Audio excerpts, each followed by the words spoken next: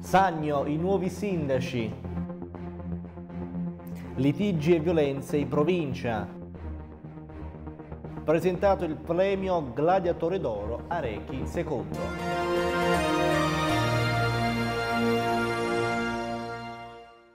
Benvenuti al nostro telegiornale.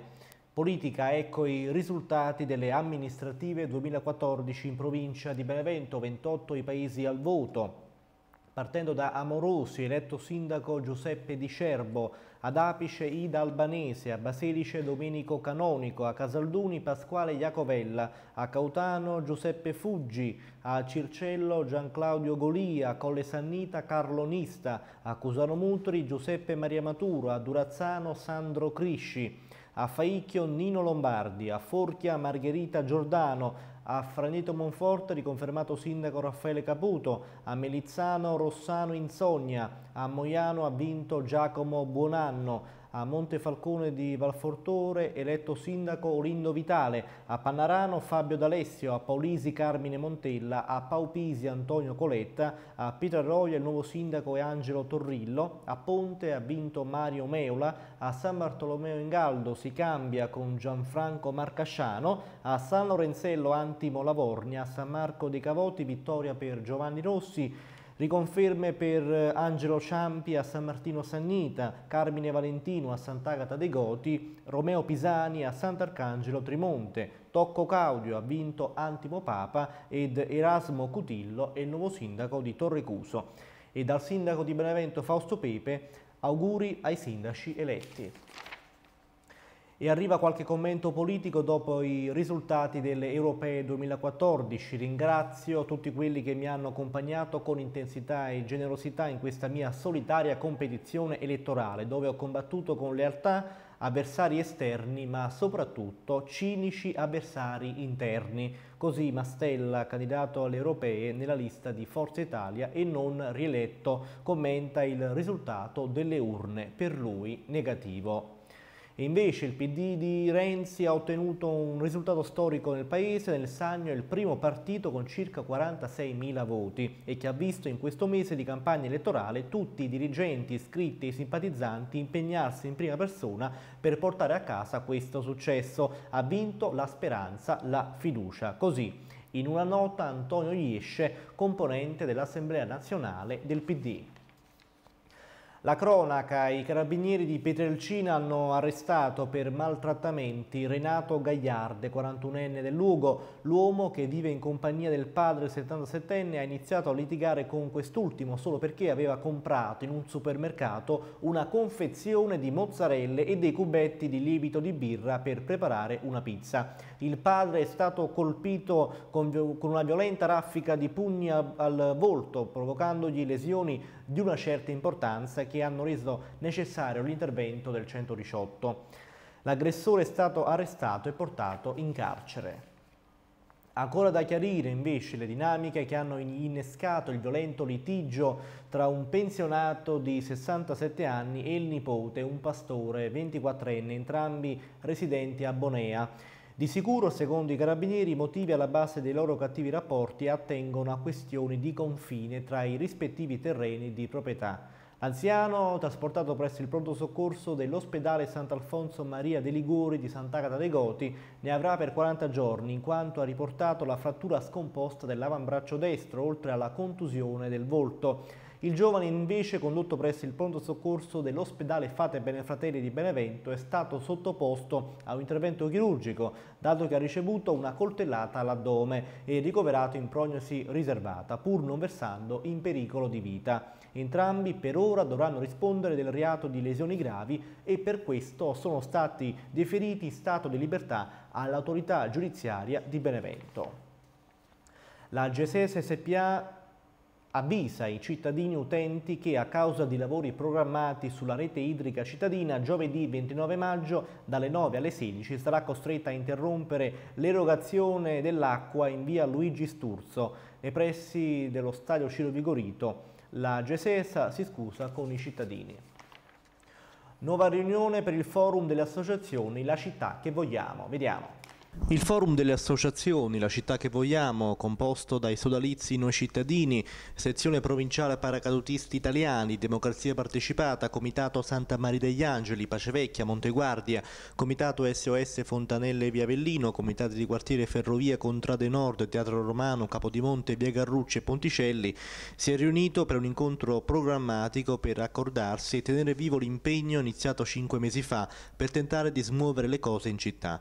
Numerosi presenti presenti, quali assieme alla portavoce Vittoria Principe hanno affrontato le tematiche relative all'attuale situazione di disagio che riguarda l'intero territorio di Benevento, con uno sguardo alle prossime iniziative che saranno messe in campo per la vicina estate tante le professionalità che sono scese in campo per invitare i cittadini beneventani ad invertire la rotta, tenendo conto della disastrosa condotta dell'amministrazione comunale. L'occasione è stata anche utile per fare un resoconto del cammino effettuato in questi mesi dal, di vita del forum delle associazioni che ha fatto uno screen delle situazioni di emergenza nella nostra realtà. Parecchi cittadini che hanno compreso e condiviso il messaggio di speranza nel cambiamento lanciato dal forum delle associazioni La città che vogliamo, che continuerà nel suo ruolo di cernire tra cittadini e istituzioni, queste ultime sempre più latitanti e indifferenti rispetto al malessere generale. A Confindustria Benevento un workshop sull'energia elettrica per le imprese. Ascoltiamo.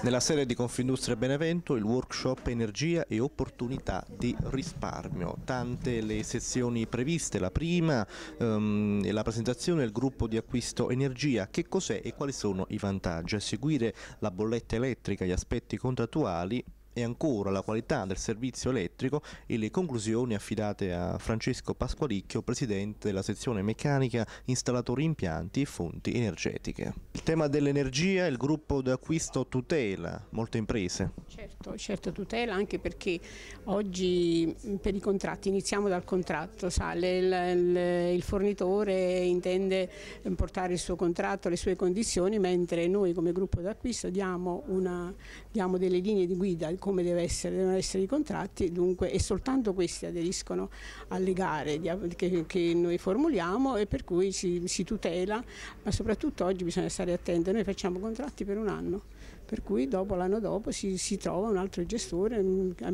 miglior convenienza e si, si, si, prende questo come fornitore. Ecco, qualche dato, oltre 450 mila euro eh, risparmiati nel 2013? Sì, sì, molto oltre, eh, le abbiamo di là tutte le sì, perché se si va a guardare, eh, ognuno singolarmente va a fare la sua, la sua, il suo contratto, ovviamente non ha un potere grosso. Noi abbiamo avuto Nonostante quest'anno, 2013, sono, sono, le aziende sono diminuite, però eh, abbiamo avuto un, una grossa fornitura di, di kilowatture, per cui abbiamo notato, infatti la struttura ha fatto il conto che c'è stato questa, questo risparmio, che per, purtroppo devo dire per noi aziende non è che si sente tanto perché resta sempre un costo molto alto.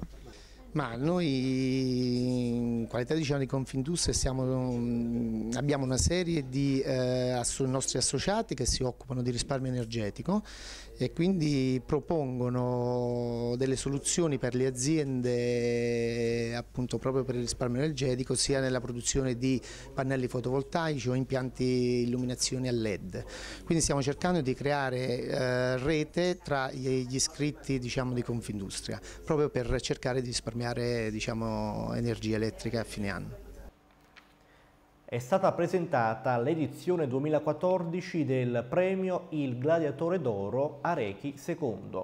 A condurre la serata del 6 giugno sarà il giornalista RAI Franco Di Mare, presente anche il noto critico d'arte Vittorio Sgarbi. Vediamo. Il 6 giugno 2014 al Teatro San Marco di Benevento l'edizione 2014 del premio Il Gladiatore d'Oro, stavolta eh, affiancato al premio Arechi II. A condurre la serata Franco Di Mare, premiati giovani artisti sanniti ed eccellenze del territorio. Sì, nasce da una riflessione, dall'incontro tra Franco Di Mare e il professore Cimitile, nel quale appunto eh, si è riflettuto sulla contingenza attuale, che è una contingenza evidentemente molto sfavorevole soprattutto per i giovani. Per cui è stato conseguenziale eh, individuare un percorso artistico per questo evento che invece che eh, dire, accendere i riflettori, eh, esaltare chi già ce l'aveva fatto, quindi era già stato premiato in un certo senso della vita, invece eh, desse spazio e visibilità a chi ancora cultura probabilmente deve conquistarsi un proprio spazio pur avendo avviato un percorso dove già ha avuto dei riscontri. Questo è l'impianto concettuale. Sono tante le eccellenze del territorio che spesso vanno via. Allora, le eccellenze del territorio beneventano sono infinite, eh, purtroppo non premiate troppo spesso a favore eh, dire, di nomi più noti del panorama nazionale, però queste sono scelte evidentemente determinate da sono scelte personali, politiche e quant'altro. Oggi sicuramente la provincia eh, manifesta un'inversione di tendenza rispetto al contesto generale. Eh, questa edizione, che è un'edizione zero, in cui c'è una trasformazione del gladiatore d'oro ad Arechi II, quindi rispetto nella tradizione, però evoluzione, eh, si vuole fare invece una scelta di premiare il territorio, infatti come ospite noto eh, abbiamo soltanto un ospite di eccellenza perché è sempre importante il confronto con l'esterno che è Vittorio Sgarbi, il resto sono tutti quanti artisti sanniti. Il premio consiste in una statua ispirata a Rechi II, Rechi II è un duca che è diventato duca a 22 anni, quindi c'è una corrispondenza anche concettuale nella scelta di questo personaggio, oltre che vabbè, insomma, è legato eh, alla grandezza della storia beneventana di quel periodo ed è quindi una sua raffigurazione eh, realizzata su un bozzetto, un disegno del maestro Mario Ferrante, al quale poi è stata tratta questa fusione che è appunto il premio. Un principe giovane come Areghi II per un premio giovanile. Sì, è proprio così. Arechi divenne duca di Benevento a 22 anni e ha rappresentato una speranza e il, un sogno di grande futuro per la città di Benevento e sicuramente ha significato per la città e per la nostra provincia uno dei momenti più importanti di sviluppo e di crescita culturale, economico, sociale. Un momento di grande, di grande, splendore. E quindi i giovani, il ruolo che i giovani possono avere, il ruolo che i giovani debbono avere in un momento come questo, quindi se vogliamo è anche il tentativo di indicare un esempio positivo eh, attraverso Arechi II e attraverso quello che riceveranno il premio, il premio Arechi II. Una manifestazione che però non vuole essere una manifestazione di intrattenimento leggero, eh, che eh, pur sposando la sobrietà come richiede come richiedono i, i, tempi, sia però un, uh, un, cammino nella storia di Benevento, quindi nella storia Leon Gobardi, un, uh, qualche cosa che si ripeterà nel tempo e col quale intenderemo appunto eh, premiare giovani sanniti che accendono questi sogni e queste speranze che si affermano, eh, contrariamente a quanto accade col Gladiatore d'Oro, che invece ecco, diremmo è un premio alla carriera, cioè un premio alla maturità di chi ha portato contributi positivi nei diversi settori della vita dell'uomo. La serata del 6 giugno con Franco Di Mare e tra i presenti Vittorio Sgarbi. Sì, abbiamo scelto come... Uh, persone che ci dessero una mano innanzitutto Di Mare, Franco Di Mare perché ci aiutasse a dare questo taglio insieme di eh, Sannio Prati, di, di, manifestazione che è di orgoglio sannita ma che sia di un target nazionale e che sia anche di target eh, scientifico appunto eh, che anche nei suoi momenti di intrattenimento culturale e artistico culturali e artistici si, si, ricollegasse in qualche modo al, al cammino della storia che vogliamo, che vogliamo, fare. Franco Di Mare è stato eccezionale con delle idee stupende, credo che cominci con lui una collaborazione con questo territorio che durerà nel tempo perché noi siamo convinti che Areco II debba radicarsi e svilupparsi, e svilupparsi nel tempo. E poi eh, pur eh, essendo tutta la manifestazione in mano a risorse sannite sia uomini di cultura, di, eh, di ricerca, di storia, sia artisti che interverranno per riproporre vicende legate, legate, legate ai Roncobardi, eh, la presenza di, un, di, una figura di livello che sia riconosciuta sul piano nazionale e internazionale come un grande esperto dei problemi dei beni culturali e della storia del, del nostro paese, in qualche modo impegnare sul nostro patrimonio figure top di questi, di questi settori. Vittorio Scarbi significa questo cioè che Vittorio Sgarbi venga qui in una serata a parlare di noi, a parlare della nostra storia, dei nostri beni culturali, è qualcosa che noi speriamo possa essere non soltanto un segno da mantenere noi qui, ma anche un qualche cosa che giri per il mondo come giudizio su questo eccezionale patrimonio che teniamo. L'agenda il 28 maggio alla CGL un incontro per discutere delle problematiche degli ambiti sociali, in particolare dell'ambito B05. L'incontro è organizzato dal segretario FIP CGL provinciale Gianna Serena Franzè e quello della CISL FIP provinciale Attilio Petrillo. Sarà installato il 28 maggio a Piazza Castello a Benevento il mock-up del Predator B dell'aeronautica militare, il drone impiegato in attività di ricognizione e sorveglianza e attualmente in servizio presso il 32 Stormo di Amendola è un'esclusiva riservata all'Università del Sannio in occasione del workshop internazionale sulle misure per l'aerospazio che si terrà a Benevento il 29 e 30 maggio. L'evento, che richiamerà in città più di 100 studiosi da ogni parte del mondo, gode del patrocinio dell'Agenzia Spaziale Europea, oltre che di altri istituti di ricerca e società del settore. L'inaugurazione si terrà il 29 maggio alle 9 al Museo del Sannio. Il Dipartimento DEM dell'Unisagno e il gruppo Giovani Imprenditori Confindustria Benevento presentano Io Merito un'opportunità, corso sostitutivo di tirocinio sulle reti d'impresa che si terrà il 28 maggio alle 10 al Dipartimento DEM in via delle Puglie nell'aula Ciardiello. La Flyca Cab Benevento e gli operatori della cucina dell'ospedale Rummo terranno il 28 maggio un flash mob con volantinaggio nei pressi della direzione territoriale del lavoro a partire dalle 9.30. Nella cucina dell'azienda ospedaliera Rummo continua di fatto ad operare in regime di straordinario personale dipendente di altri cantieri e centri cottura, il tutto a danno del personale per lo più part-time, scrive la Flyca Cab. Alle 17.30 alla Biblioteca Provinciale sarà presentato il libro L'allegro naufragio, la scomposizione del centrodestra e la crisi del bipolarismo di Gennaro Malgiri, edizioni Minerva. Introdurrà e coordinerà Pasquale Vespoli di Mezzogiorno Nazionale. Interverranno Sandro D'Alessandro, Gian Cristiano Desiderio e Nicola Sguera assieme all'autore e nella stessa giornata alle 10.30 presso la sala del Consiglio di Palazzo De Simone si terrà la presentazione del libro Accounting e Potere, il contributo interpretativo del Governmentally Framework di Roberto Stacchezzini. Alle 18 all'Ebbi Chic Café in via Manciotti nelle adiacenze dell'Arco di Traiano Teatri e Culture, il gruppo di lettori Leggere per Leggere e l'Exit Strategy presenteranno il libro Nove volte donna e le edizioni Melagrana di Anna Verlezza.